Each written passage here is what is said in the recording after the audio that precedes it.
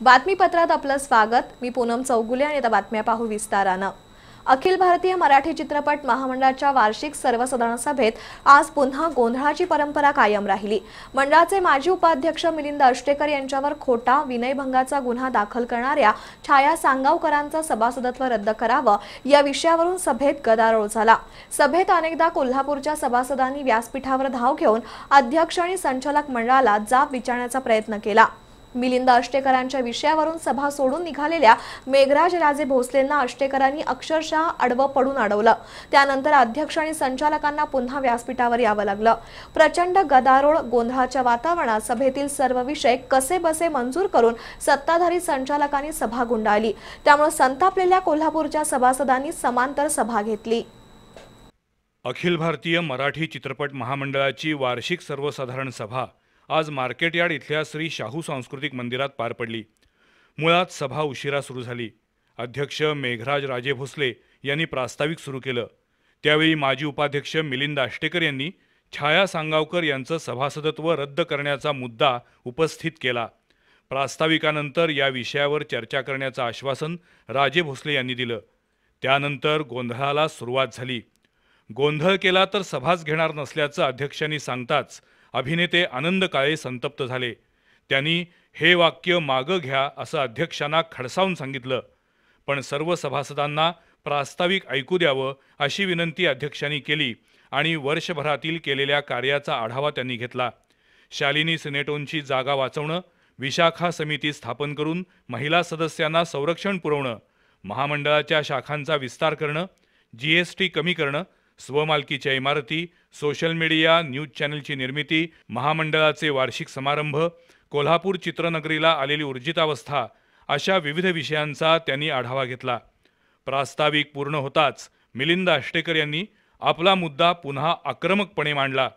त्यावर सुरेखा शहा यांनी ही सभा एका विषयासाठी नव्हे तर राज्यभरातील विषयांसाठी असल्याचं सांगितलं. त्यामुळं पुन्हा गोंधळ सुरू झाला. सभेत गोंधळ घालू देणार नाही. प्रसंगी गोंधळ घालणाऱ्यांना हकलून देण्याची भूमिका मेघराज राजे भोसलेंनी घेतली.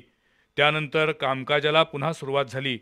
त्यावेळी प्रमुख कार्यवाह सुशांत शेलार यांनी जेवणासाठी सभा थांबवत असल्याचं सांगून अष्टेकरांचा विषय डावलण्याचा प्रयत्न केला. अध्यक्ष आणि संचालक सभागृह सोडून बाहेर पडू लागले. त्यांना कोल्हापूरच्या सभासदांनी अडवण्याचा प्रयत्न केला.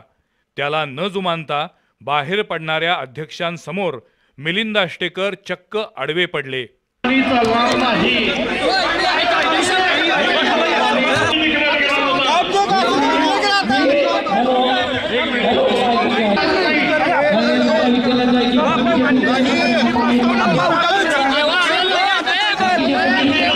विनयभंगाचा खोटा गुन्हा दाखल करणाऱ्या छाया सांगावकर यांचं सभासदत्व रद्द झाल्याखेरीज सभागृह सोडू देणार नाही असा पवित्रा आष्टेकरांनी घेतला.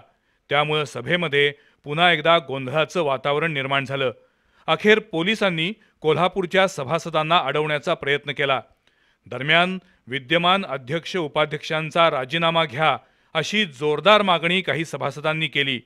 त्यावेळी झालेल्या घोषणांनी संपूर्ण सभागृह दणाणून गेलं. आक्रमक सभासदांच्या घोषणा आणि दबावामुळं मेघराज राजे भोसले पुन्हा व्यासपीठावर आले. आष्टेकर यांनी उपस्थित केलेल्या मुद्द्यांवर समाधानकारक उत्तरं संचालक मंडळाला देता आली नसल्यानं त्यांनी महामंडळाचे वकील प्रशांत पाटील यांना पुढं केलं. काही बाबी न्यायप्रविष्ट आहेत तर काही बाबी धर्मादाय आयुक्तांसमोर आहेत. त्यामुळं न्यायालयाच्या आदेशाचा आदर करणं आपलं कर्तव्य असल्याचं ॲडव्होकेट पाटील यांनी सांगितलं. त्यावर विद्यमान संचालक रणजित जाधव यांनी छाया सांगावकरांना सभासदत्व देता येत नाही असा ठराव असतानाही कार्यकारिणीनं अनधिकृतपणे सभासदत्व का दिलं असा प्रश्न विचारला.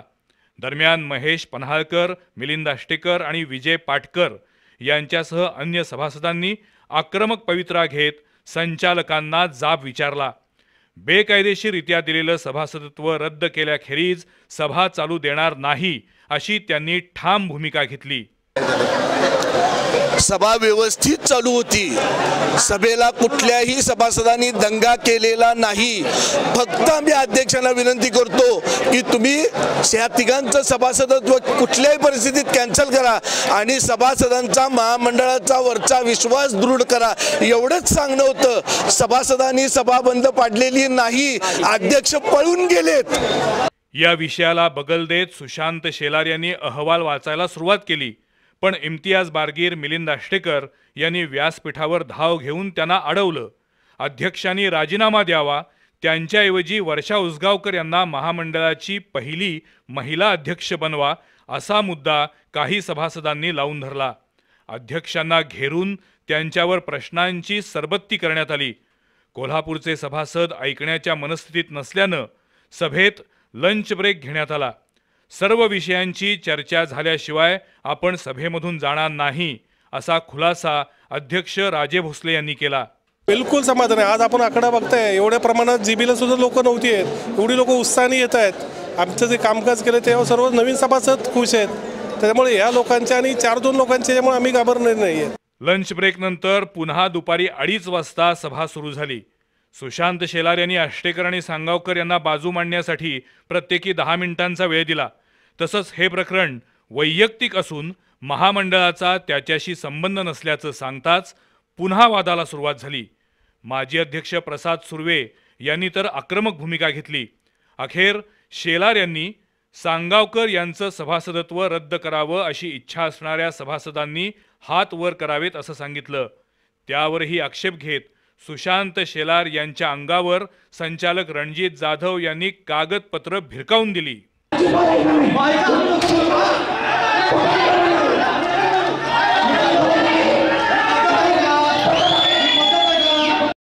वारंवार वाद उफाळून येत असल्यानं हे महामंडळ फक्त कोल्हापूरसाठी आहे का असं विचारत गोंधळ थांबवून राज्यभरातील सभासदांसाठी कामकाज चालवावं असं सुरेखा शहा यांनी सांगताच सुशांत शेलार यांनी अहवाल वाचायला सुरुवात केली.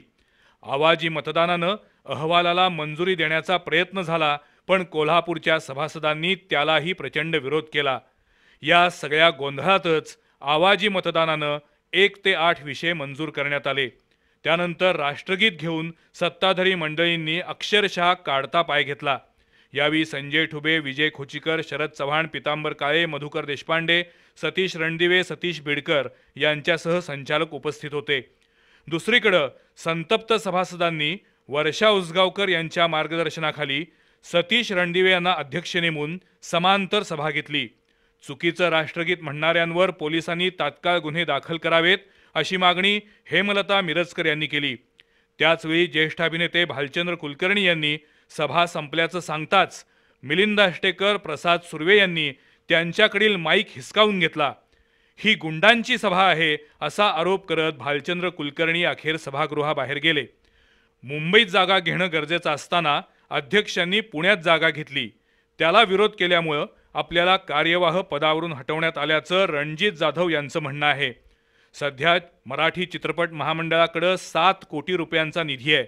त्यातील तीन कोटी रुपये खर्चून मुंबईत जागा घेणं शक्य असल्याचं विजय पाटकर यांनी सांगितलं. पण त्यासाठी कोल्हापूरची जागा विकू देणार नाही असा निर्णय आजच्या समांतर सभेत घेण्यात आला. यावेळी आनंद काळे बाबा पार्टे आकाराम पाटील महेश पन्हाळकर सखाराम पाटील स्वप्नील पार्टे किरण पवार अशोक जाधव रफिक मुजावर वनिता काकडे शोभा शिराळकर शुभांगी साळोखे धनंजय पाटील यांच्यासह सभासद उपस्थित होते. पण एकूणच अखिल भारतीय मराठी चित्रपट महामंडळाची आजची सभा प्रचंड वादग्रस्त हमरीतुमरीची आणि वादावरीची झाली. त्यामुळं चित्रपट महामंडळातील राजकारण यापुढं कोणता रंग घेतं याकडं लक्ष देणं आवश्यक आहे.